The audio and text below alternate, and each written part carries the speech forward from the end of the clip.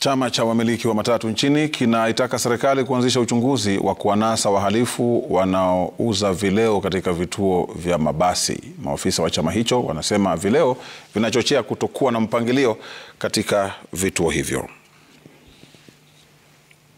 Ni ziara ya maafisa wa chama cha wamiliki wa matatu.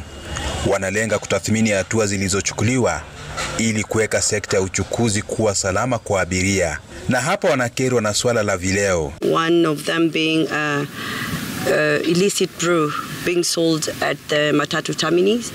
And uh, we've had a very successful meeting with the county uh, commissioner and he's promised to work hand in hand with Matatu Owners Association. To advocate the issue of road safety, the road safety issue.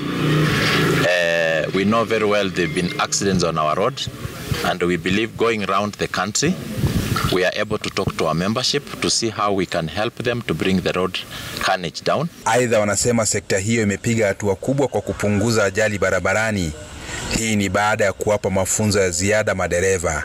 Kuhusiana na mambo ya uh, safety tumejaribu kufuatilia na kwa kipindi cha zaidi ya mwaka mmoja tujakuwa na shida hiyo ya ajali barabarani kwa ajili ya training na mambo ambayo tunapata kutoka kwa washika wadau na other uh, associates. Wanaitaka serikali kuwashinikiza wengi kujiunga na vyama vya ushirika ili iwe rahisi kuchukua hatua iwapo kutakuwa na uvunjaji sheria barabarani pamoja na kubuni nafasi za kazi. We are urging our membership wherever they are they need to make sure that the SACCOs taking charge of the business.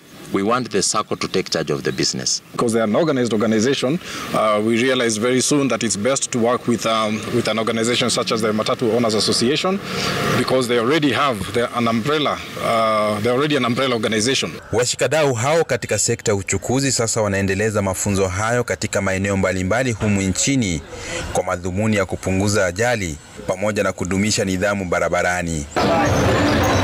Wamiliki wa magari ya uchukuzi katika taifa la Kenya sasa wanaitaka serikali kuhakikisha kwamba wanaweka doria za usalama katika eneo hili ili kuzuia pombe haramu kuletwa katika kituo hiki cha magari.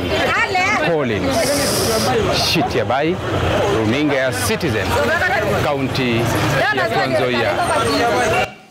Taarifa ya Shitiabai hiyo akiwa kwenye kituo cha mabasi huko Trans Nzoia inanipa mie fursa hapa studioni ya kuweza kumeza mate kabla ya kurejea na taarifa zilizosalia.